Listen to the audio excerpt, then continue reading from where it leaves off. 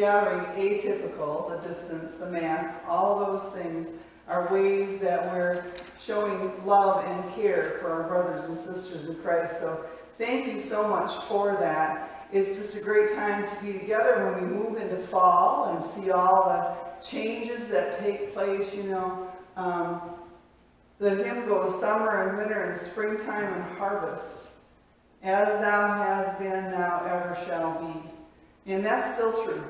The nature doesn't know the difference. It's going to give us a beautiful display of wonderful colored leaves and we'll just see how this moves on and, and, and just pray for uh, all of this to be resolved in a way that keeps people as safe as possible. A couple of announcements I'd like to lift this morning. Uh, Crop Walk is next week and some of you have been very uh, generous in supporting uh, my walk and I'm appreciating that because the money goes all over the world for food, clean water, just all sorts of places. But the miracle of Crop Walk is a portion of it also comes back to this community. If this community raises money, then this community gets money to help support its hunger ministries. So we can be thankful for that. I know specifically that the food pantry in Hesperia uh, last year got something like $4,000 from Crop Walk. Isn't that amazing? So you're helping people next door and people on the other side of the world. And we also are still supporting hand in hand for kids uh, to take home a backpack full of food for the weekend. Some kids, their nutrition in a day is what they get at school. And of course, then on the weekend when there isn't school, they need some help. So it's really a wonderful program. You see up there what we're hoping that this church can provide, and we appreciate in advance that you'll participate in that ministry.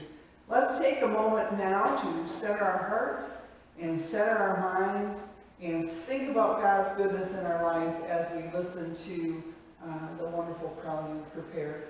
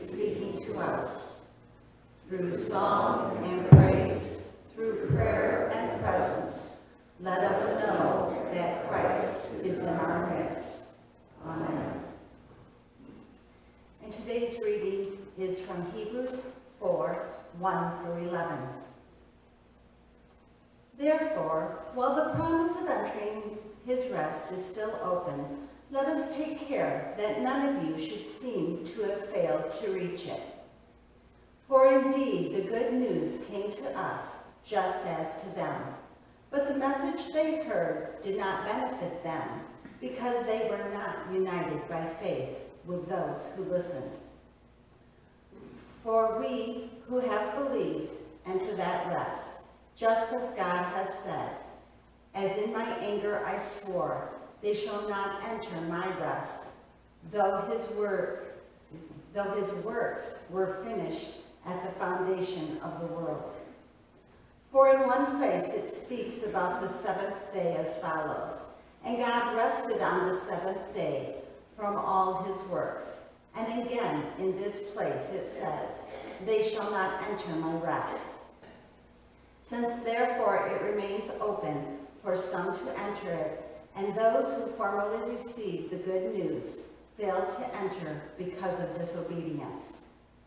Again, he sets a certain day, today, saying, though David much later, saying through David much later in the words already quoted, Today, if you hear his voice, do not harden your hearts. For if Joshua had given them rest, God would not speak later about another day.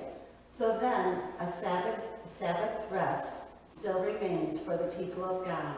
For those who enter God's rest also cease from their labors, as God did from his. Let us therefore make every effort to enter that rest, so that no one may fall through such disobedience as theirs. This is the word of God for the people of God. Thanks be to God.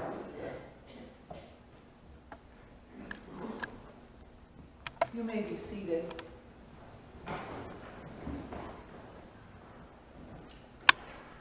As we move into our time of prayer this morning, I want to remind you that, you know, God listens to every one of us. God listens to all that we live. In the circumstances right now in your lives that may seem uh, helpless and hopeless, God is already at work, and we will see those results as the days come. So if you want to take a moment here with me, we'll spend a moment in silence and then continue in prayer. And in the silence, you can lift all of those who are on your heart, who needs God's presence and God's touch more than ever. Let us pray. Enough for us all. Out of your caring compassion for us, you invite us to come away with you to a place of rest and quiet. Help us to say yes to your invitation and then sit at your feet and listen to your word. Out of your compassion, you care for those who are harassed, helpless, lost, lonely, or afflicted. Sometimes we feel that way ourselves. So hear us as we pray for those that you love. Hear us as we celebrate also those who have joy unbounding in their lives. Help them to know that all good gifts come from you. Lord, in your compassion, teach us to follow you, to trust you, to love you, and to love as you love. Lord, feed all who need you, physically, emotionally, and spiritually. Heal us in the places where we need to be healed. And then teach us, O oh Lord, to have compassion for others as you do. Help us to show compassion in action the way you did. And then remind us when it comes time to come away with you again for rest and quiet and the time to look to you for our strength. Lord, in your mercy, have compassion for us as we pray in the way that Jesus taught us. Our Father, who art in heaven, hallowed be thy name. Thy kingdom come, thy will be done, on earth as it is in heaven. Give us this day our daily bread. Forgive us our trespasses, as we forgive those who trespass against us. Lead us not into temptation, but deliver us from evil. For thine is the kingdom, and the power, and the glory forever. Amen.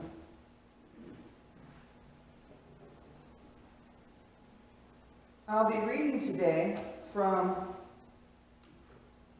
the Gospels, again, the story of Jesus and Jesus' life from Luke chapter 10, verses 38 to 42. Now, as they went on their way, Jesus entered a certain village where a woman named Martha welcomed him into her home. She had a sister named Mary who sat at the Lord's feet and listened to what he was saying. But Martha was distracted by her many tasks. So she came to him and asked, Lord, do you not care that my sister has left me to do all the work by myself? Tell her then to help me. But the Lord answered her, Martha, Martha, you are worried and distracted by many things. There is need of only one thing. Mary has chosen the better part, which will not be taken away from her. The word of God for the people of God. Will you pray with me? Gracious God, may the words of my mouth and the meditations of our hearts be acceptable in your sight. O Lord, our strength and our Redeemer. Amen. In this story from Scripture, we find a, maybe a familiar scene for any of you who have brothers or sisters, or any of you who have more than one child.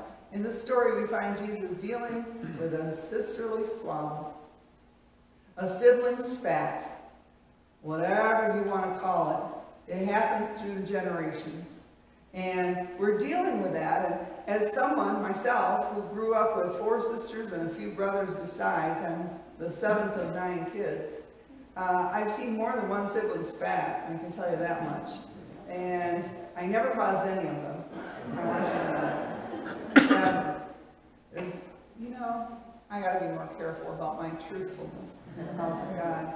Um, but in my experience, these types of arguments are usually in some way or another connected to who should be first, or who should have most, or who is the best.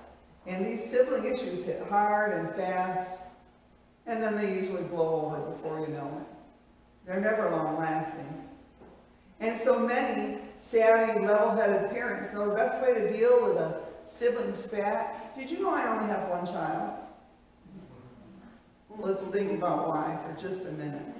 Um, the best way to deal with a sibling spat is not to deal with it at all. Keep out of it, unless of course someone is really getting out of hand, or someone is at risk, or if there's a possibility to teach one of those lasting lessons that we try to teach children. So why is Jesus involved? Why did he even get involved in the story of Mary and Martha and their sisterly squabble over who is the best, who is right, who is doing the right thing. It seems a little bit silly and trivial, doesn't it? For all the things that Jesus had to deal with, that he got involved with this. Why is this story in Scripture in the first place? And why is it that Jesus doesn't have the sense to just stay out of it and let it blow over? Jesus gets involved in this issue, though. He gets involved in this issue because, like parents at their very best, Jesus can see that someone is getting out of hand. And there's a possibility of teaching a lasting lesson, and someone is at risk. Let's start with who's getting out of hand. Experience tells me that in situations like this, it's not always obvious who's out of hand. I just want to take a moment to tell you about my little sister, Connie. Um, speaking of sisterly spats. And she's become a fine woman and a loving mother, and we're true friends today. But when I was young and she was younger, she was very skilled, very skilled in making every dispute look like it was my fault. Maybe you had somebody like that in your family. Uh, she would get into my things and shirk her share of the chores. We had to share a room, and she never straightened her side of the room, and tease and taunt, and basically behave like a brat. But when I reached my boiling point and made a fuss about it, she would put on that ever so innocent face and bat those baby blue eyes and conjure up a tear or two. And she was the baby of the family. Are there babies of the family here? Yeah, yeah. You know what I'm talking about. There's usually a little bit more slip there in the rules for babies of the family. Uh, so obviously any ob- observer would believe that I was the one getting out of hand.